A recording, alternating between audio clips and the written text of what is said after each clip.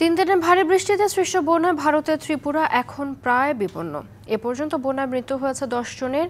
রাজ্যের প্রায় দুই হাজার জায়গায় ভূমিধস হয়েছে। পরিস্থিতির অবনতিতে কিছু জায়গায় রেড অ্যালার্ট জারি করা হয়েছে। এদিকে ত্রিপুরার ডুম্বুর বাঁধের জলাধারের গেট খুলে পানি ঢুকেছে বাংলাদেশে, তলিয়ে গেছে বিস্তীর্ণ অঞ্চল। যদিও বাঁধ খুলে দেয়ায় বাংলাদেশে বন্যা হচ্ছে, এই দাবি মানতে নারাজ ভারত।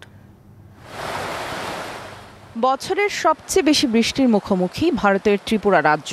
সেই বৃষ্টি আর ঢলে প্রতিদিনই বন্যা পরিস্থিতির অবনতি হচ্ছে। তলিয়ে গেছে পশ্চিম ত্রিপুরা সিপাহীজলা ধলাই, উত্তর ত্রিপুরা, গোমতী, দক্ষিণ ত্রিপুরা ও উনাকুটি জেলার বিস্তীর্ণ অঞ্চল। যোগাযোগ ব্যবস্থা প্রায় বিচ্ছিন্ন। খোয়াই নদীর পানির স্তর বিপজ্জনকভাবে বেড়েছে। খোয়াই জেলায় রেড অ্যালার্ট জারি করেছে প্রশাসন। আরও কিছু এলাকায় জারি করা হয়েছে অরেঞ্জ অ্যালার্ট।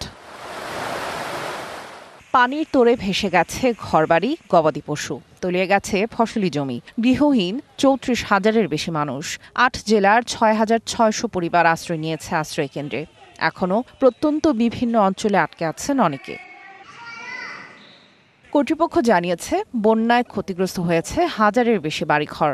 রেললাইন ক্ষতিগ্রস্ত হওয়ায় অন্তত দশটি লোকাল ট্রেনের শিডিউল বাতিল করা হয়েছে।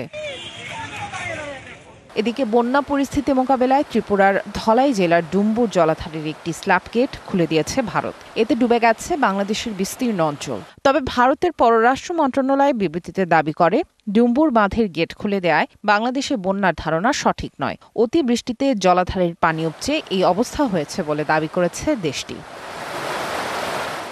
সামিয়া জান্নাহ, ডিবিসি নিউজ ডেস্ক।